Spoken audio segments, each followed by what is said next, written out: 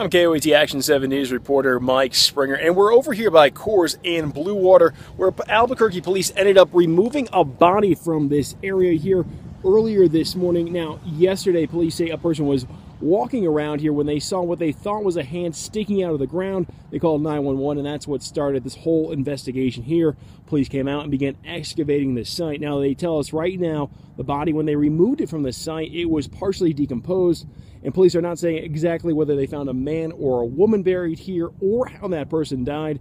The body has been shipped off to OMI, the Office of the Medical Investigator. They'll be performing an autopsy on the body to try to answer some of those questions. Now, police say because of the long holiday weekend, we may not get many answers until sometime next week. Well, more on this story coming up on KOAT Action 7 News at 5 and on KOAT.com.